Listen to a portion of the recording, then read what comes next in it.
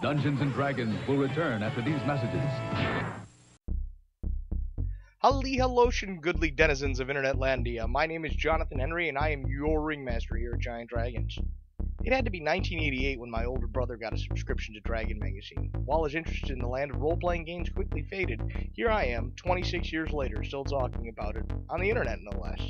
But that's kind of what I do. I talk all things gaming with the goodly people of Internetlandia. Tonight we have a really big show, as I'd like to walk through some of the advertisements that were intended to separate me from my money as a kid. Most specifically, I'd like to look at issue number 182 of Dragon Magazine. It's a great issue. First and foremost, it has this wonderful picture by Paul Jaquays. Seems to be a great place for Giant Dragons to kick off its video series, as to cover one of my favorite Giant Dragons. The inside of the magazine doesn't disappoint for adding more Giant Dragon goodness to your AD&D 2nd Edition game, with six dragons of Viking lore and spells for Dragonlance campaigns. But beyond the lore of the gaming articles are the gaming goodies. Today I can just hop on many of the thinking machines and communicate wirelessly with humans all over the world. But back in 1992, it was still 2400 baud, and if you wanted to know about a book, you had to read a magazine or find somebody who bought the book. I had a good base of gamers, and about 70 or so of them would show up each Saturday for some around the table action. But the pages of Dragon magazine promised us we were missing out. That if we only sent $2 to an address in California, we could receive a full color catalog full of reviews. It was tempting and often tempting enough. Sadly, those catalogs have long since been used as drop cloth to spray minis and start fires. But the Dragon magazines have survived all the moves across the pond and now rest comfortably in my living room next to what my sister likes to call the Bob chair. Dark Sun was the newest of the settings for Dungeons & Dragons. It played large in past issues and filled a great deal of space in the pages of Dragon magazine over the past months. And TSR, the brains behind Dungeons & Dragons, were nothing if not self-promoters. They did so well and the quality of their ads showed plainly in this issue. The eight pages dedicated to their new products, TSR was doing a fine job of keeping its market well informed, and they did so with a great deal of production done. The games looked really attractive back then, and I'm sure that a great many of good things we see here at one point in time found a spot around my gaming table. But in 1992, there was more to gaming than just D&D. But then, just as now, D&D attracts most of the attention. In my time as a gamer, I've gotten to play a great many games. Some of them were odd indie press pieces, but many of them I saw first on the pages of Dragon magazine.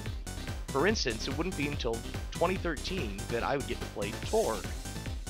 It's a fantastic game, but I say that because I have a fantastic DM who's just in love with the system and has been since the 90s. It has been said that Torg, or the other role-playing game, flourished in a saturated market, with game books, novels, and a slew of other books further talking about the cosmos. The next ad that really struck me is something that is very 1992 awesome. Most of you watching this are familiar with online dice rollers, but back in 1992, using a computer to roll dice was something that was not a great number of people did. For 40 bucks, you could have this whiz-bang toy.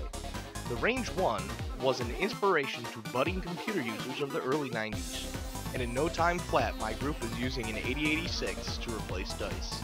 But that wasn't the only foray into the realm of thinking machines. The 1990s continued the long tradition of D&D on computers, course everybody's favorite popular video gaming consoles. The computer was a great dungeon crawling platform and made a good deal more sense to the masses than pen and paper had at the time.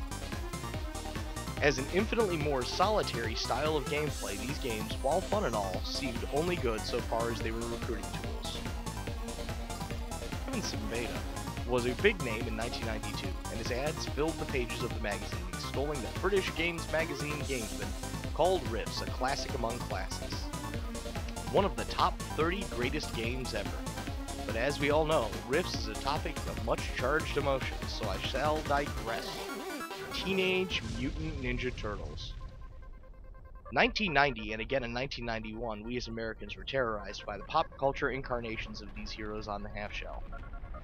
They even sold audio cassettes at Pizza Hut, and I'm sure my playing it over and over as a kid is one of the many reasons there's a special place in hell for me. But the Palladium game held on to the original feel of the comic book, making it a darker, deadlier world full of oddball mutants carrying swords and machine guns with no regard for good old fashioned law and order.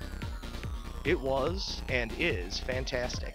With loads of books in the series, you could pretty much take the fight to the Foot Clan anywhere on Earth or even space. As with all of the Palladium games, other than Recon of course, they fit rather well together, and pulling a wizard into the future or a teenage mutant ninja what have you into the past was rather painless. But the future belonged to Robotech. As a kid, I was a bit of a Harmony Gold Robotechaholic. I had pictures of Rick Hunter and Lisa Hayes at their wedding on my wall and spent an unusual amount of time planning huge robot battles. But this trip down memory lane brings up SDC versus MDC, so maybe we just better leave it at that. The pages of this and every other issue of Dragon Magazine also gives hints to faraway bastions of gamery goodness. Around the time of this issue, I was hitting the streets of jolly old London town in the search for the Orc's Nest. It turned out to be a small hole in the wall that was jam-packed with books galore. I remember buying a t-shirt, Neal Stephenson's Snow Crash, and David Brin's Uplift GURPS. These adverts and others in the Gamer's Guide really lit my imagination as much as the articles. The various bits of oddity that you could add to your games, minis you can make, dungeons of the month clubs, learn to craft chainmail, buy mail. And it all gets wrapped up with a nice PSA about going outside to play. Thank you very much for spending your time with me today, and I hope you enjoyed a quick look at issue 182 of Dragon Magazine. Hopefully in the future we'll do uh, more reviews of Dragon Magazine and Dungeon Magazine. Until that time, remember to have an airborne kind of day. Thank you very much for watching. This has been Jonathan Henry for Giant Dragons.